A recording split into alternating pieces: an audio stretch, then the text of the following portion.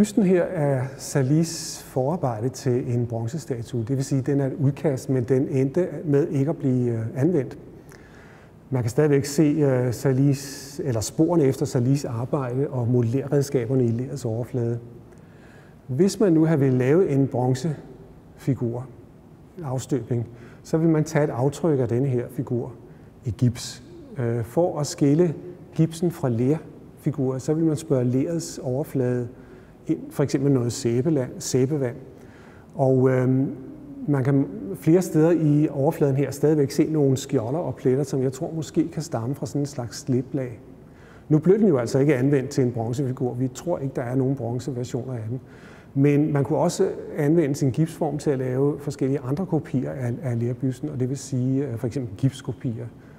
Nogle gange øh, så lavede man den oprindelige figur i voks, og det er det, som Adrian de Vries har gjort med sin figur af Lazarus.